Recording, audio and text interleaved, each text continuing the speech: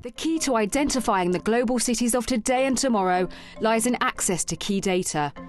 And in the modern era, we have more tools available for data analysis than ever before. And this ability to access information is growing all the time.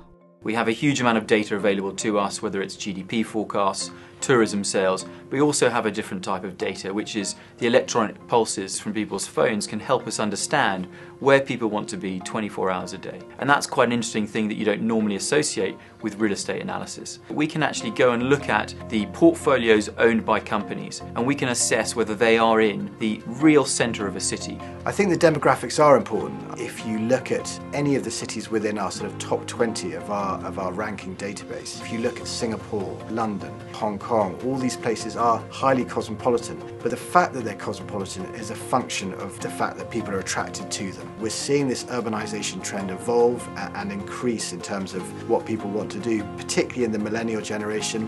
They want to live downtown, they want to be close to the shops, to the restaurants. The idea of moving out into the suburbs is becoming less and less attractive.